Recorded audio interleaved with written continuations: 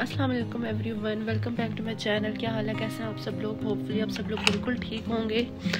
और अल्लाह का शुक्र है, मैं भी बिल्कुल ठीक हूँ। मैं वापस आ गई हूँ। जब मैं वापस आती तो मतलब मैं कोई आने का ब्लॉग कुछ भी नहीं बनाती, क्योंकि इतने रोने धोने का सीन होता है। मम्मा भी इतना रो रही होती है मैं खुद।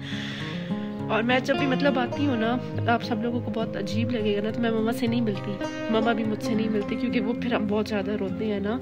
तो बस उन्हें पता होता है कि मैंने जाना है। जैसे आज मैं आ रही थी सॉरी कल परसों। तो मैं सुबह सुबह ही आ गई थी, अपने हस्बैंड के मामू के साथ मैंने आना था तो उन्होंने भी वहाँ आना था तो मैंने कहा, चलो, मैं भी उनके साथ ही चली जाती हूँ। तो मम्मा गई हुई थी बाहर सुबह सुबह ना, थोड़ा वॉक वगैरह करने, वो गई हुई थी, बस उन्हें पता था, आज मैंने जाना है तो इस तरह मैं उनसे मिली नहीं हूँ। मतलब मैसेज और कॉल्स पे तुम्हारी बात वगैरह होती रहती है, लेकिन अगर हम मिले ना तो फिर ज़्यादा रोना आता है। इस तरह मैं कशमाला से भी फिर नहीं मिलती, बस अल्लाह हाफिज़ कर देती हूँ। तो मैं वापस आ गई थी। क्योंकि मैं जब भी जाती हूँ ना मतलब मैं थोड़े ज़्यादा दिन रह के आती हूँ इस दफ़ा तो मैं आई थिंक मेरे बीस के पच्चीस दिन में रह के आई हूँ। तो फिर मैं ज़्यादा दिन रह के आती हूँ तो फिर रोना धोना तो होता है ना। और फिर हम गले इसलिए नहीं मिलते, गले, वो मतलब मिलते हम इसलिए नहीं, क्योंकि फिर और रोना आता है ना। बस अल्लाह हाफिज़ करके मैं निकल आती हूँ। और मेरे आए हुए दो तीन दिन हो गए, मैंने कोई ब्लॉग नहीं बनाया। मतलब थोड़ी थोड़ी मैंने क्लिप्स लिए हैं आप लोगों के लिए। तो अभी आप लोग वो इन्जॉय करें और इन भी रेगुलर होंगे ब्लॉग्स में। मैं ना डंडी मार जाती हूँ, कभी मेरा दिल करता है, कभी मेरा दिल नहीं करता तो इन ब्लॉग्स आते रहेंगे। अभी आप लोग इन्जॉय करें। अच्छा जी तो ये जिस दिन मैं आई थी, उस दिन की वीडियोस हैं, थोड़ी बहुत क्लिप्स मैंने लिए आप लोगों के लिए। और बस मैं किचन में थोड़ा बहुत काम शाम देख रही थी गेस्ट आए हुए थे। वैसे मेरे मम्मा ने सारी कुकिंग वगैरह कर ली थी और मेरे हस्बैंड की जो मामी है, मैंने बताया कि मैं हस्बैंड के मामू के साथ आई थी, उनकी फैमिली के साथ, उनकी फैमिली भी आई हुई थी। कुकिंग वगैरह सब कुछ वही कर रहे थे, बस मैं ना थोड़ी वो बड़ी बनने के लिए थोड़ी चम्मच वगैरह मैं चला रही थी।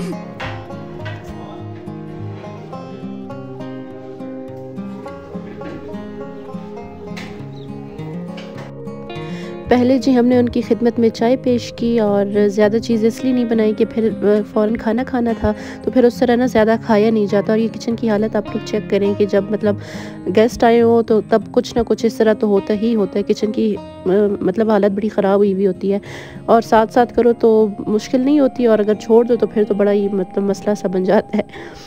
और इधर जी बन रहे थे कबाब। मैं कोई रेसिपी आप लोगों को नहीं दूँगी, कुछ भी नहीं, क्योंकि मेरा ये इसी दिन में आई थी तो मेरा ना दिल भी ज़रा खफा था। ये तो अच्छा है कि मेरे हस्बैंड की मामू की फैमिली आई हुई थी और थोड़ा घर में ना रश वगैरह था तो इतना मुझे वो फील नहीं हो रहा था। जबकि मैं अकेली हूँ तो बड़ा मैं मतलब दिल खफा सा होता है ना। तो बस इधर हम सब मिल के काम शाम कर रहे थे।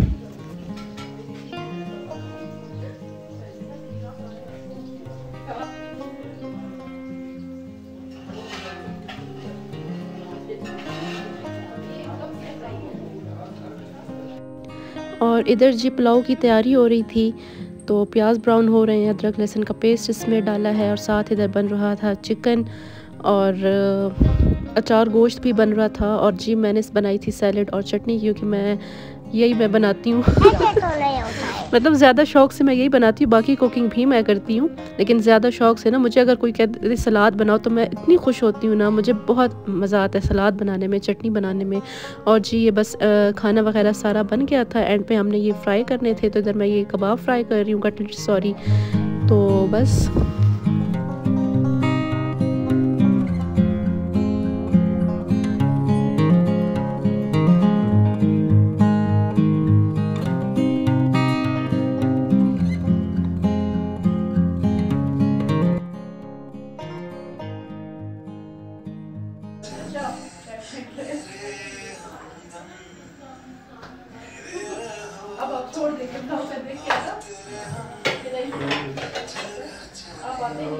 और जी, खाना वगैरह हमने खा लिया था साथ साथ बर्तन धोए जा रहे थे और साथ साथ सॉन्ग्स भी लगे हुए थे।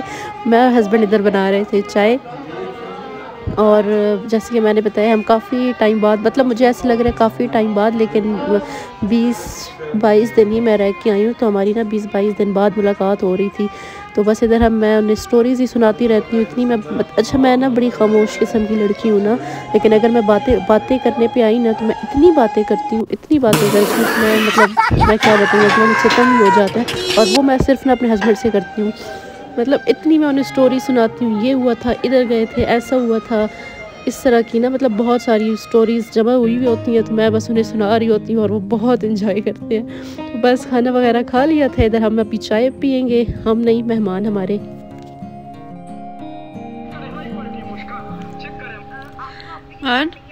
अस्सलाम वालेकुम क्या हाल है ठीक है? क्या कर रहे हैं? टिकटॉक। मानी आपको क्या टिकटॉक की लत लग गई है? ये तो लड़कियों का काम है। हम्म? लड़कियाँ हमारे लिए बनाती हैं। आप मैरिड हो। मैरिड लोगों के लिए सिर्फ़ बीवियाँ होती हैं और कुछ भी नहीं होता। चलें जी व्लॉग को मैं यहीं पर करती हूँ। एंड बहुत छोटा सा व्लॉग था और होप आप लोगों को अच्छा लगा होगा तो प्लीज़ लाइक शेयर सब्सक्राइब करें।